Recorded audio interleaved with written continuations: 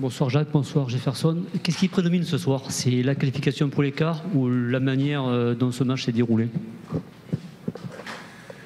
D'abord, c'est la qualification parce que, c'était notre premier objectif. Il n'était pas facile. Euh, on était dans une poule, je ne vais pas vous le raconter, vous le savez, compliqué. On avait euh, des étapes à passer. On les a passées avec, quelquefois avec difficulté, mais on les a passées. Donc aujourd'hui, c'en était une différente. Avec difficulté, on l'a passée. Et donc, aujourd'hui, c'est quand même la première chose, c'est la qualification qui nous, euh, qui nous satisfait pleinement.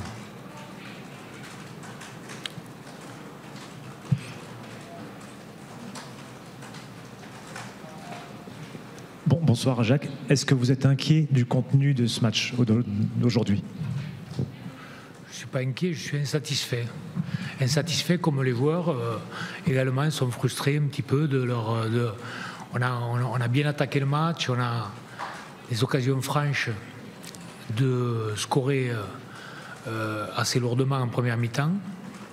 On a fait des fautes de main par précipitation, par un petit peu de, maladresse. Et donc voilà, on aurait voulu réaliser une copie meilleure. Donc il y a du travail encore.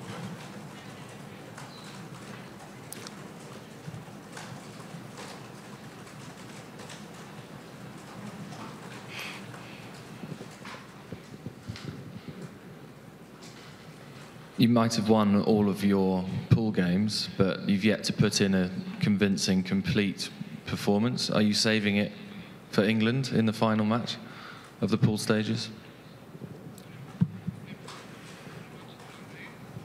J'attends la traduction qui ne vient pas. Euh, bien sûr que l'adversaire qui, qui se présente est, redoutable, on l'a vu encore, on l'a suivi bien sûr son parcours. On connaît la, la difficulté qui nous attend, mais euh, je crois que ce sera euh, un, un, bon rendez-vous, un bon rendez-vous avant avant euh, notre quart de finale, dont on ne connaît pas encore notre adversaire.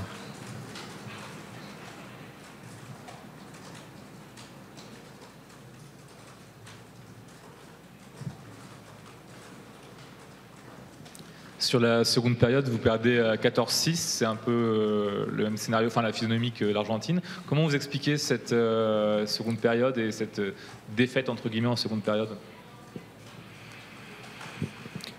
Je l'explique, je l'explique sans doute parce que parce qu'à un moment donné il y, a, de la crispation. On aurait voulu euh, avoir euh, être plus euh, plus au large au score.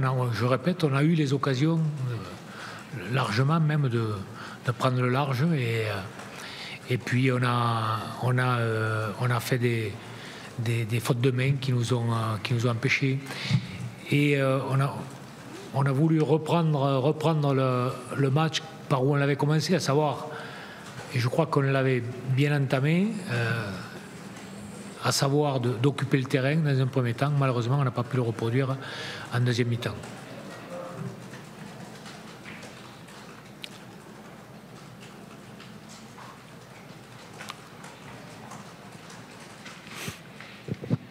Jacques, bonsoir.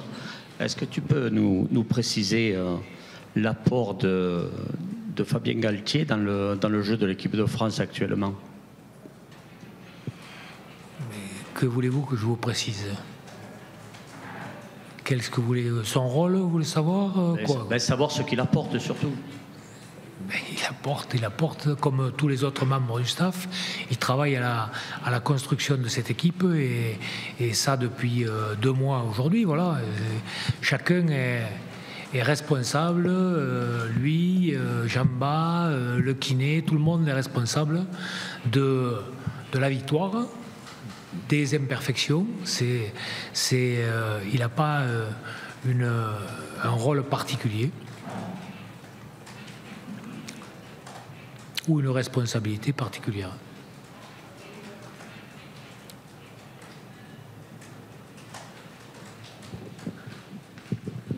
監督に伺います。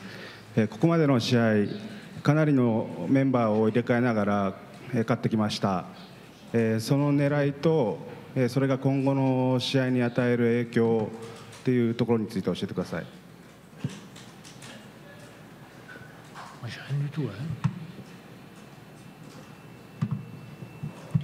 Can you please repeat the question? Moi, j'ai pas de traduction. hein. Moi non plus, je l'ai. ここまでの試合を、えーかなりメンバーをいな入れ替えながら勝ってきました、えーその狙いとそれが今後の試合に与える影響について教えてください。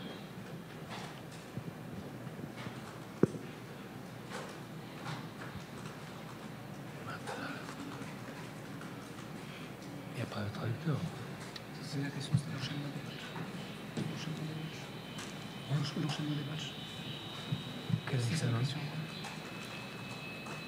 rien- Je suis désolé, mais j'ai rien compris. moi.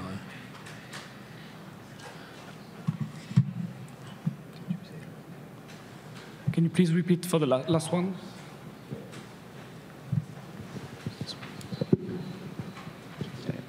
ここまで、おえーかなりメンバーを入れ入れ替えながら勝ってきました、えーその狙いとそそれが今後の試合に与える影響について教えてください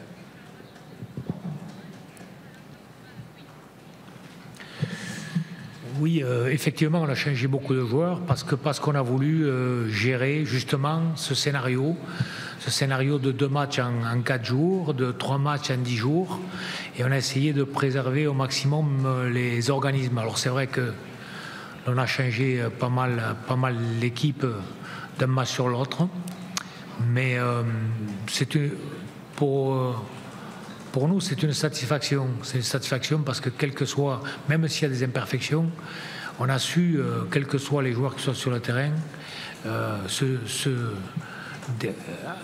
aller vers l'objectif que l'on que, que- avait, à savoir se, se qualifier.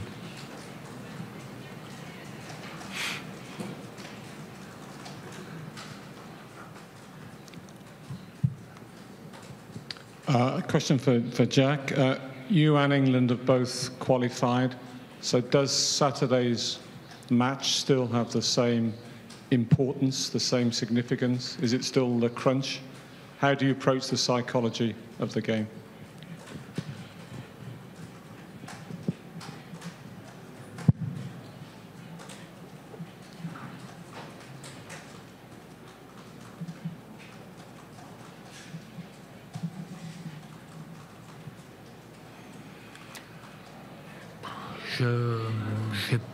Concernant le, quart de finale, on ne se projette pas encore euh, là-dessus. On a, un match important contre l'Angleterre. C'est, celui-là qui, va nous préoccuper cette semaine. Puis par la suite, on, regardera quel serait notre, notre adversaire.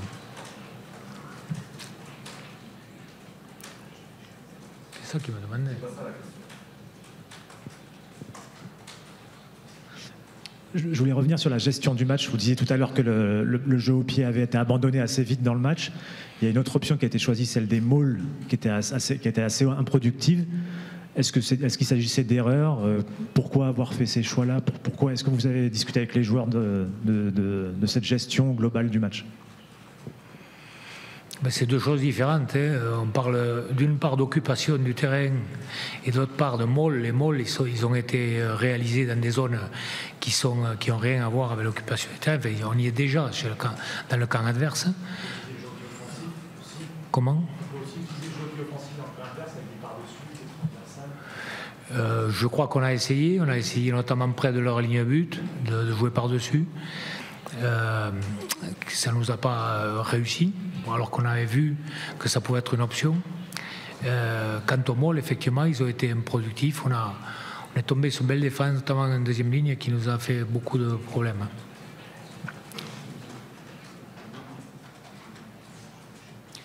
Euh, Je signale qu'il y a mon capitaine qui est avec moi.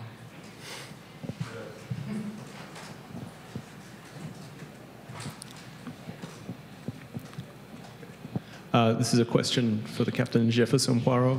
Uh, from a player's perspective, uh, you've achieved reaching the quarterfinals, but how important is it for you to uh, win against England in your final pool game?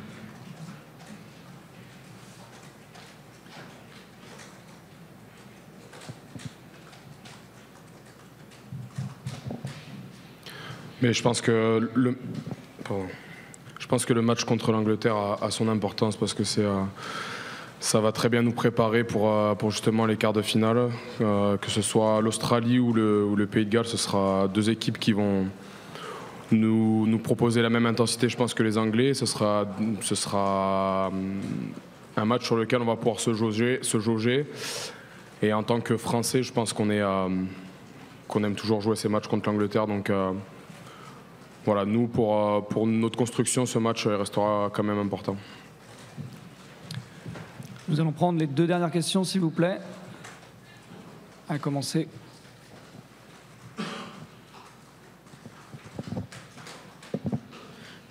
Jacques, est-ce que vous avez été surpris par la façon dont a été un petit peu arbitré les, ou non arbitré d'ailleurs les, les rucks et surtout les, les déblayages Je ne veux pas parler de l'arbitrage parce que je veux avoir le temps de, revoir euh, exactement toutes les situations, mais effectivement, euh, il y a des moments où ça s'apparentait à de la natation. Donc c'est difficile ensuite d'avoir des libérations rapides et de pouvoir enchaîner le jeu correctement.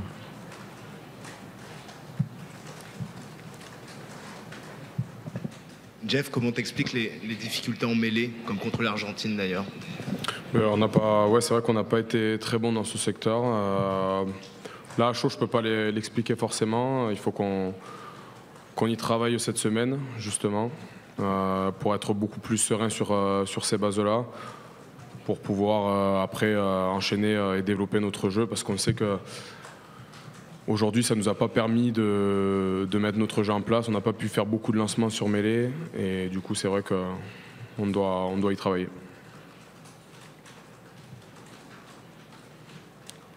Merci à tous, merci messieurs. Je savais bien qu'il y avait un truc, c'est que là c'est marqué.